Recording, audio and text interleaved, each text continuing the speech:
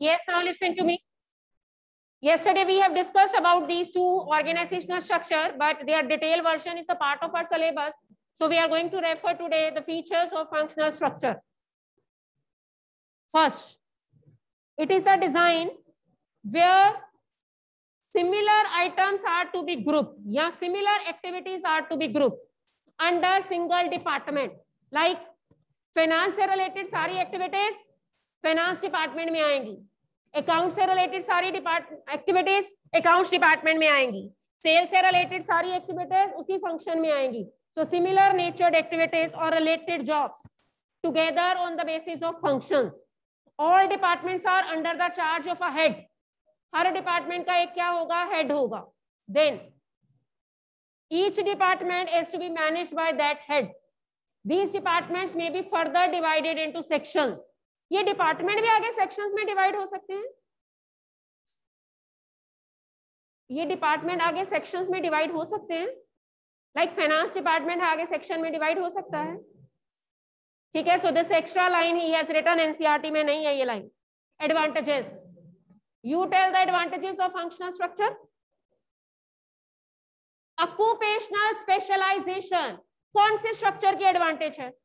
Tag word है ये। Occupational specialisation एक प्रोडक्ट स्पेशलाइजेशन है। कौन सा दोनों में से डिवीज़न में आएगा और कौन सा दोनों में से फंक्शनल में आएगा?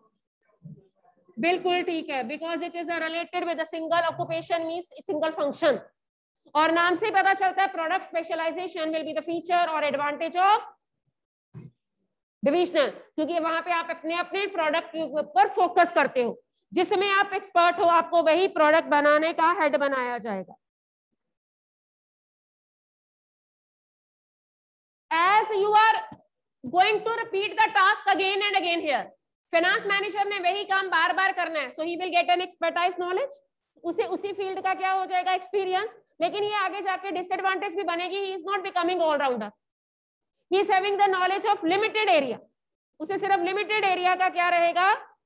नॉलेज रहेगा. Then it result in increase profit with improvement in managerial and operational efficiency जिस डिपार्टमेंट के आप हेड हैं, आप उस डिपार्टमेंट में एफिशिएंसी लेके आएँगे, आप उसमें कोऑर्डिनेशन लेके आएँगे तो definitely this will lead to the profitability increment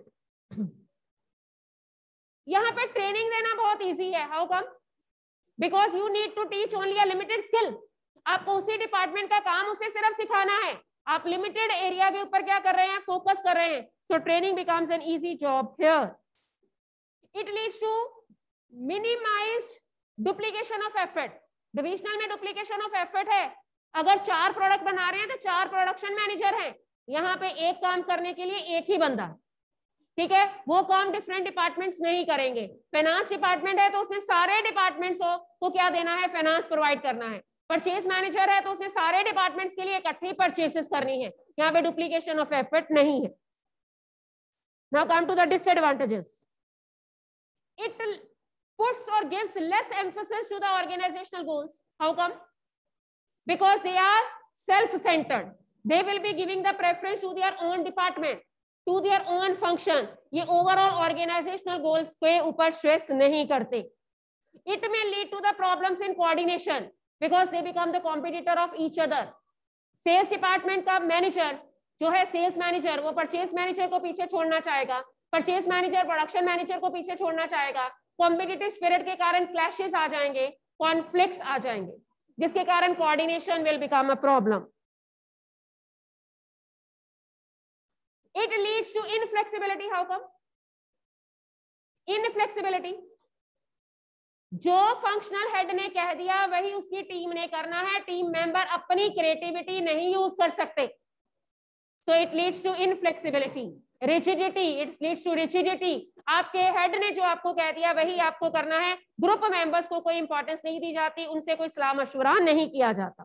Now come to the divisional structure पहला फीचर डिविजनल स्ट्रक्चर का। इट ब्रिंग्स ऑक्यूपेशनल स्पेशलाइजेशन और प्रोडक्ट स्पेशलाइजेशन ओके ये पहला फीचर क्या लिख रहा है? It is an organisational design that group similar और related jobs together on the basis of different product lines एक ही तरह की एक्टिविटीज़ को एक ही जगह पे रखा जाता है, लेकिन on the basis of products produced मतलब कॉस्मेटिक डिपार्टमेंट का परचेज कॉस्मेटिक डिपार्टमेंट का प्रोडक्शन कॉस्मेटिक डिपार्टमेंट का सेल्स मैनेजर सारे एक ही डिपार्टमेंट का क्या होंगे? पार्ट होंगे but here by the division is being made on the basis of products her department का एक डिविजनल मैनेजर होगा जो अपनी डिवीज़न के लिए क्या होगा? रिस्पॉन्सिबल होगा। Each divisional division is multifunctional how come he says, each division is multifunctional.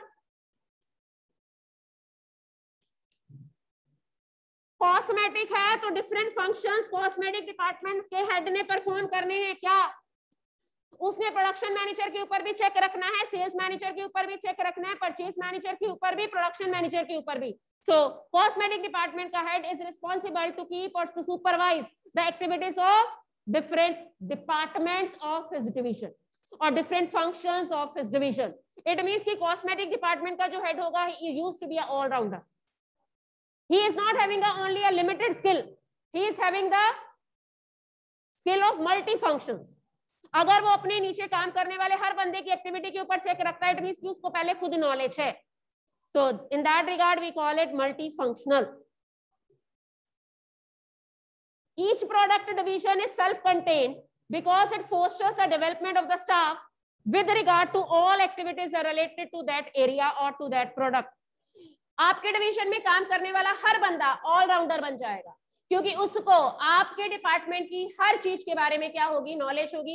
ही और she is responsible for the upliftment of your division तो यहाँ पे हम लोग सिर्फ़ एक लिमिटेड एरिया के ऊपर फोकस नहीं करते। मल्टी स्किल्स हम लोग अपने सारे मेंबर्स को सिखाते हैं। So this is the difference between functional and divisional advantage पहला वही है प्रोडक्ट स्पेशलाइजेशन यहाँ पे ब्लेम गेम नहीं चलेगी। अगर एक डिवीज़न घाटे में जा रहा है तो उसी डिवीज़न का हेड रिस्पॉन्सिबल होगा क्योंकि हम लोगों ने उसकी होली सोली रिस्पॉन्सिबिलिटी बनाई थी कि तूने अपने डिपार्टमेंट को डिवीज़न को मैनेज करना है। वो ये नहीं बोलेगा कि फुटवेयर सेक्शन के मैनेजर ने ऐसा किया तो मेरा डिपार्टमेंट घाटे में जा रहा है। ही और she has been made in charge of his department तो यहाँ पे कोई भी किसी तरह का कोई कॉन्फ्लिक्ट नहीं होगा, कोई किसी दूसरी पार्टी को ब्लेम नहीं करेगा। हमें आसानी से पता चल जाएगा कौन सी डिवीज़न प्रॉफिट में जा रही है और कौन सी डिवीज़न लॉस में जा रही है? So it is easy to identify it leads to faster decision making how come it leads to faster decision making आपको किसी से पूछने की ज़रूरत नहीं है। आप अपने डिवीज़न के क्या हो? हेड हो। अपने डिवीज़न के सारे फैसले आपने खुद लेने। Because you had been made responsible you had been made in charge of your own division so fast decision making promotes flexibility आप जब कभी चाहो अपनी डिवीज़न में चेंज भी लेके आ सकते हो। इट फैसिलिटेट्स ये कल भी डिस्कस हुआ था expansion and growth as the business can add a new to its portfolio just by adding another divisional head and staff. Divisional structure में आप जितने मर्ज़ी प्रोडक्ट बनाओ, आसानी से एक्सपेंशन एंड ग्रोथ पॉसिबल है। एक नई डिवीज़न ही तो ऐड करनी है। एक नया डिविजनल हेड ही तो बनाना है। और आपकी कंपनी के पास पैसे की तो कोई कमी है नहीं। You can easily afford to pay to them because your concern is operating on a very very large scale ये ये स्ट्रक्चर स्मॉल स्केल कंपनीज़ के लिए बढ़िया है? Is it a right option for a small scale company no because they can't afford to appoint such a highly profiled staff वो इतना ज़्यादा पे करने की पोजीशन में नहीं होते. So it is always being recommended for a very very large scale concern disadvantages different divisional heads में लड़ाई झगड़ा होगा. वहाँ पे सारे फंक्शनल हेड्स में कॉन्फ्लिक्ट्स आते थे। यहाँ पे सारे डिविजनल हेड्स में कॉन्फ्लिक्ट्स आएँगे। हर बंदा अपनी डिवीज़न को आगे लेके जाना चाहेगा, फिर से ऑर्गेनाइजेशनल गोल्स पीछे हो जाएँगे। Cost is very high because her division में अलग से क्या है? मैनेजर्स हैं। अलग से क्या है? फ़ंक्शन क्या हो रहे हैं? परफॉर्म हो रहे हैं। तो आपके अगर पाँच प्रोडक्ट बन रहे हैं तो पाँच प्रोडक्शन मैनेजर हैं। पाँच सेल्स मैनेजर हैं। पाँच परचेज मैनेजर हैं। इट मींस कि यू कैन वेल इमेजिन कितनी हाईली प्रोफ़ाइल जॉब्स आपने उन्हें दे रखी है और कितना आप पे कर रहे हो। That's why I always stress that small scale companies are not in position to pay to them it is always being meant for a very very large scale companies क्योंकि हर डिवीज़न के हेड को independence है। ज़रूरत से ज़्यादा जब independence दी जाती है तो वो पार मिसयूज नहीं होती। ठीक है, वो अपने आप को ही बहुत समझना शुरू हो जाएगा। जब वो अपनी डिवीज़न को छोड़ के जाएगा या कंपनी को छोड़ के जाएगा, साथ में अपने बहुत सारे बंदों को भी ले जाएगा which is going to hamper the activities of my organisation इसने बड़ी अच्छी लाइन लिखी है। Managers are given sufficient independence with authority to supervise all the activities it is quite likely that in pursuit of proving his work or department as best the manager may ignore the interest of the organization as a whole वो अपने department को ही आगे लेके जाना चाहेगा organizational goals को भूल जाएगा और जब कभी वो खुद छोड़ के जाएगा साथ में अपना स्टाफ भी लेके जाएगा तो हमारी कंपनी को बहुत सारी प्रॉब्लम्स फेस करनी पड़ सकती है this is what we call main disadvantage of divisional then we were having the most important part of this chapter is delegation and decentralization what is the meaning of delegation एक line में हमेशा बोलती हूँ और आपको भी याद करने को बोलती हूँ। Dispersal of authority dispersal of authority to the very next level एक लाइन ये है है ना? एक मैं लाइन लिखती हूँ। Dispersal of authority throughout the organisation दोनों में क्या डिफरेंस है? थ्रू आउट होल ऑर्गेनाइजेशन ऐसे कर लो, है ना? पहली लाइन डेलीगेशन की है, दूसरी लाइन डिसेंट्रलाइजेशन जब आप अपने से नेक्स्ट लेवल को अथॉरिटी देते हो, अपनी, कुछ काम करवाने की, उनसे कुछ काम करवाने की, उसे डेलीगेशन कहते हैं। लाइक टॉप मैनेजमेंट ने मिडिल मैनेजमेंट को बोला और मिडिल मैनेजमेंट ने आगे लो मैनेजमेंट को बोला। दैट इज़ डेलीगेशन लेकिन अगर आप अपनी ऑर्गेनाइजेशन में हर लेवल पे फ्रीडम दे देते हो कि हमें टारगेट अचीव चाहिए, आप जैसे मर्ज़ी करो। तो वो डिसेंट्रलाइजेशन सो थ्रेटिकली और practically decentralisation is a wider term and delegation is a narrow term because delegation is not throughout the organisation delegation is only to the next level getting it तो ये दोनों बातें आपने याद रखनी है। जब हम डेलीगेशन की बात करते हैं तो we have three elements of delegation again that are important we have authority here we have responsibility here. We have accountability here. तीन ही एलिमेंट है कि चार बना दिया आपने? तीन ही authority means part to take decision और अथॉरिटी की एक और डेफिनेशन है to command others I have an authority to allot the work to you you don't have authority to order me that is authority means to command others एक definition ये है. दूसरी definition मैंने क्या बोली? To take your own decision आप अपने ही decision maker हो। आपको किसी से नहीं पूछना आपके पास ये पार right can authority be delegated yes authority can be fully delegated yes आप अपना काम अपने जूनियर को बोल सकते हो साथ में ये बोल दोगे if you face any problem feel free to ask from me and I am here to help you बात खत्म। Responsibility obligation to complete a task allotted task जो काम आपको बोला गया है करने को वो आपको करना है। You are responsible for the completion of that task that is responsibility but responsibility can't be fully delegated like i had been made responsible for my cosmetic department that it should earn 50 lakh profit this year मैंने आगे अपने functional heads को काम दे दिया again I will be responsible to my top management अगर 50 लाख की जगह 40 लाख प्रॉफिट होता मैंने काम तो करने को दे दिया, मैंने जॉब डेलीगेट कर दी, मैंने उन्हें अथॉरिटी भी दे दी, लेकिन मेरी रिस्पॉन्सिबिलिटी अभी भी मेरे पास है अगर मेरा टॉप मैनेजमेंट मेरे से पूछेगा तो मैं अपनी टीम से ज़रूर पूछूँगी। ठीक है ना? Because they are also responsible लेकिन not fully so responsibility can only be partly delegated this line also you have to learn you have to retain in to mind then we have accountability this concept or this element will arise only when the work is not completed. अगर सब कुछ सही चल रहा है, जैसा chalk out किया था, जैसा प्लान किया था, अगर वैसा ही चल रहा है then there is no question of answerability accountability means to be answerable for the non completion of task. And to be answerable when the work is not being completed on time. जितना time आपको दिया गया, उतने time में अगर आपने नहीं complete किया तो you are held answerable for it getting it so answerability के बिना अथॉरिटी और रिस्पॉन्सिबिलिटी नहीं होनी चाहिए। और अथॉरिटी मिस यूज़ हो जाएगी अगर रिस्पॉन्सिबिलिटी नहीं है। मैंने अपने परचेस मैनेजर को दस लाख रुपया दिया, उसको बोला, सामान खरीद के लेके आओ। बस इतना बोला। वो उस दस लाख में से सात लाख का सामान खरीदेगा, तीन लाख अपनी पॉकेट में डालेगा।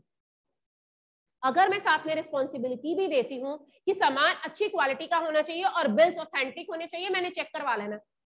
तो वो दस लाख का दस लाख स्पेंड करेगा अच्छी क्वालिटी का सामान भी लेगा क्योंकि अथॉरिटी के साथ रिस्पॉन्सिबिलिटी भी फिक्स की गई this is what the Henri Fayol says parity between authority and responsibility authority always comes from authority always comes from top to bottom responsibility always flows from bottom to top both are moving in reverse direction reverse direction but parallel to each other मैंने responsibility fix कर दी, अच्छी quality का सामान खरीदना है। जब budget allocate किया, दस लाख के बदले में दस लाख का सामान आना था। मार्केट में इंक्वायर भी किया हुआ है। मेरे परचेज मैनेजर ने मेरे को बताया भी है कोटेशंस भी बताई है सप्लायर की। लेकिन जब बजट एलोकेट किया तो सात लाख ही दिया। क्या वो अपनी रिस्पॉन्सिबिलिटी को फुलफिल कर लेगा? वो अच्छी क्वालिटी का ले पाएगा? आपने बजट ही उससे कम दिया है। So both should run parallel to each other जितनी अथॉरिटी दी गई है, उतनी रिस्पॉन्सिबिलिटी भी देनी है। जितनी रिस्पॉन्सिबिलिटी दी गई है, उसके बिल्कुल पैरेलल आपने अथॉरिटी भी देनी ठीक है? Which is useless without which which is useless without which both are useless it mean की both are complementary to each other responsibility के बिना authority can be misuse ठीक है? रिस्पॉन्सिबिलिटी के बिना authority can be misuse अगला क्या बोलना चाहिए मेरे अथॉरिटी के बिना responsibility will have any use no he और she will not be in a position to complete that task क्योंकि उसे अथॉरिटी ही नहीं मिली।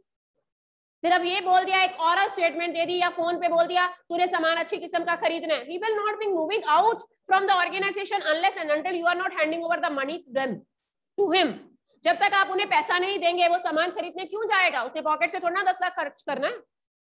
ठीक है? Teacher allocated the work to you but teacher has not provided the charts or material to you so every student is not going to spend from his or her pocket जब तक आपको material नहीं मिलेगा वो responsibility भी useless हो जाएगी क्योंकि आपको अथॉरिटी नहीं दी गई या तो आपको पैसे दे दिए जाए और आप सामान खरीद के काम करना शुरू करो so this is what we call both are important and similarly accountability is also much essential क्योंकि ह्यूमन साइकोलॉजी है जब तक उनके मन में डर नहीं होगा वो तो साल में जो काम होना है उसको दो साल लगाएँगे जब तक मेरे मन में डर नहीं है कि बोर्ड ने पेपर लेने हैं या प्रिंसिपल ने मेरे से पूछना है about the syllabus completion I will be taking much time ठीक है? आप you can well imagine how I completed my accountancy syllabus ठीक है? बिकॉज़ आई वॉज़ आंसरेबल ना? She was going to ask from me अभी तक syllabus खत्म हुआ क्यों नहीं? और कितना टाइम लगेगा? So I ask from her I will be using my business studies period for the completion of my accountancy syllabus for that she permitted. And I completed, right? So answerability is, answerability means for the non-completion of the task. So let's go to the decentralization. जब आप पूरी organisation में एक तरह से freedom दे देते हो हमें सिर्फ़ टारगेट की क्या चाहिए अकम्पलिशमेंट चाहिए आप जैसे मर्ज़ी करो ऐसा कौन सी ऑर्गेनाइजेशन में होना चाहिए जहाँ पे आप अपने एम्प्लॉयज़ पे विश्वास कर सकते हो जहाँ पे आपको लगता है कि आपके एम्प्लॉयज़ फुली ट्रेंड है जहाँ पे आपको लगता है आपके एम्प्लॉयज़ एक्सपीरियंस है जहाँ पे आपको लगता है कि उनके ऊपर चेक रखने की ज़रूरत नहीं है thereby you can decentralise और where the size of the organisation is very very large मेरे मैनेजर के पास इतना टाइम ही नहीं है कि वो हर छोटी छोटी बात को क्या करे, खुद देखे। जब ऑर्गेनाइजेशन का साइज़ बहुत ज़्यादा बढ़ जाता है तो डिसेंट्रलाइजेशन कर देने चाहिए। लेकिन डिसेंट्रलाइजेशन के अपने नुकसान भी हैं। वही, जब हम उन्हें फुल पार दे देते हैं तो वो हमारे ऊपर हावी हो जाते हैं, वो उस पार को मिस यूज़ करते हैं। इसलिए फ्यूल कहता है there should be a proper blend of centralisation and decentralisation जैसे मेरी इंडिया की सेंट्रल गवर्नमेंट कर रही है। Arms ammunition nuclear power central government ने और रेलवे भी अभी तक अपने पास रखा। बाकी सारे डिपार्टमेंट प्राइवेटाइज कर दिए। और स्टेट को फ्रीडम दे दी, आप अपने डिसीज़न खुद लो। ठीक है? रेलवे भी प्रपोजल में ही है। जब एक ट्रायल बेसिस के ऊपर प्राइवेट ट्रेन चलनी शुरू हो गई है तो सुनर और later it is also going to be defence government कभी भी अफोर्ड नहीं करती कि हम प्राइवेटाइज कर दें because that is going to be our secret mission you are getting me and same is going to happen in our companies important matters the top management should keep in its own hand and all the routine matters should be decentralized, should be given to the lower level. Only a surprise checking should be there. Only their measurement of performance should be there. लेकिन routine के matter top management को खुद करने की ज़रूरत नहीं right so with this we just compile this chapter yesterday when i was framing your test and i i was referring your sample paper also इतना लंबा चैप्टर और कोई भी मतलब एक जस्टिफिकेशन नहीं करा। दो या तीन क्वेश्चन डाले ऑर्गेनाइजिंग के देखो सिक्सटी क्वेश्चंस में से सबसे ज़्यादा बिज़नेस एनवायरमेंट के डाले सबसे छोटा चैप्टर है। मतलब there is there is no you can say justification and fairness when they set the paper. It's not justified ना हाँ मार्केटिंग भी मार्केटिंग इतना लेंथी चैप्टर में बोलती हूँ दस नंबर वेटेज होनी चाहिए बात दे आर नो ठीक so, from any chapter, he can ask any question, same criteria, i am going to follow in your pre board exam. मैंने भी ऐसा कोई हार्ड एंड फास्ट रूल नहीं रखा। ठीक है? नहीं, मेरे को ऐसे नहीं पता। This I am telling you business environment में तीन या चार क्वेश्चन वही डायमेंशंस के डाल दिए ना उसने। तीन चार बार सैंपल पेपर में वही पॉलिटिकल एनवायरनमेंट इकोनॉमिक टेक्नोलॉजिकल की ऑप्शन है। पेपर सेट करते हुए इतना तो देखो, मेरा इतना नहीं होगा। मतलब तीन चार क्वेश्चन नहीं होंगे डायमेंशन आइडेंटिफिकेशन के नहीं होंगे। पेपर पता नहीं कैसा होगा। प्री बोर्ड क्या? हाँ हाँ प्री बोर्ड लेवल का ही होगा।